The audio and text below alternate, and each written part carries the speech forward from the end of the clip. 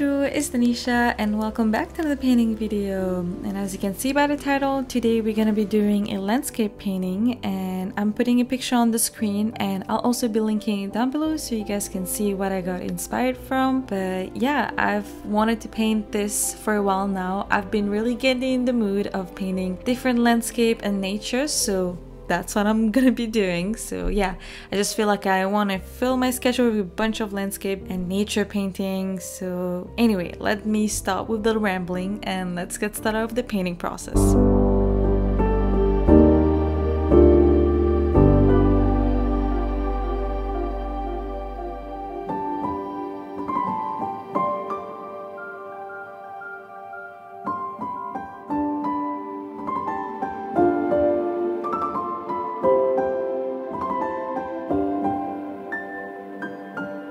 This time I didn't want to draw anything beforehand before I started painting. I just kind of wanted to freehand this, which is what I'm doing, and just kind of start out by blocks of color and then build up details with that. I've been trying to experience different ways of painting and composing stuff. Well, I'm not really composing because I'm following along the picture, but I'm in a part of my life where I'm trying to find out what I really like painting and what kind of pulls me into and makes me feel inspired. So, yeah, this is my journey as I figure out what I like to paint, and as always, I like to bring you guys along with me.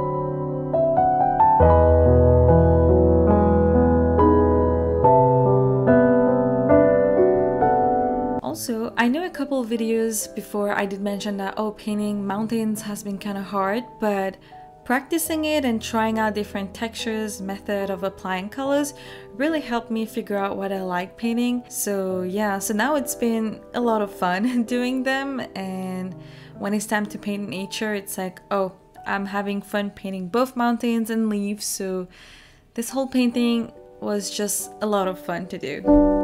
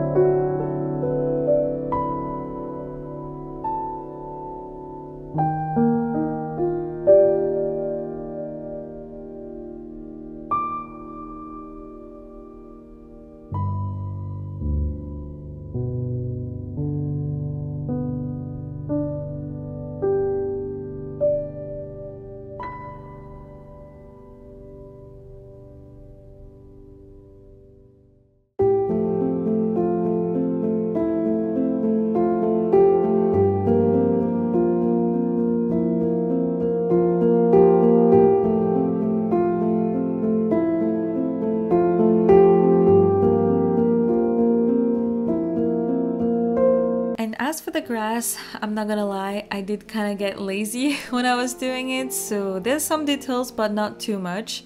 And it's funny, even though I chose like a smaller sketchbook, I still kind of got lazy adding the details. But yeah, I kind of just wanted to take a break by choosing a small sketchbook to add my paintings. Plus, it gives me two to three hours to focus on a full painting and then I get to have time to edit and also do my full-time job but hopefully after this sketchbook I get to stop painting on bigger sized paper and be more creative in this. But for now, we'll just be happy with a tiny sketchbook.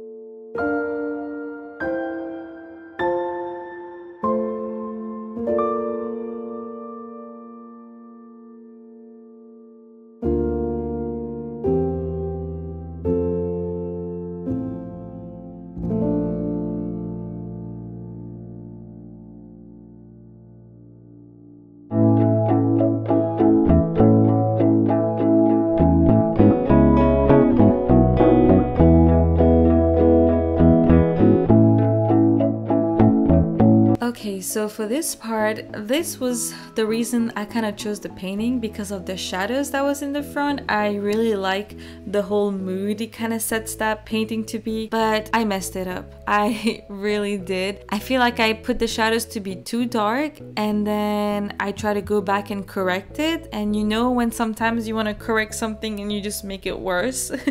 I think that's kind of what happened, but it's okay, you'll see me go back and forth and in the end it turned out okay. It kind of looked more like pebble stone more than shadows but it's fine. I, I didn't have much time to kind of go back and correct so we'll just be happy with what I have. I, I'm not mad about it. It's, it's just my painting in my sketchbook and yeah this is where I get to practice and see what works for me.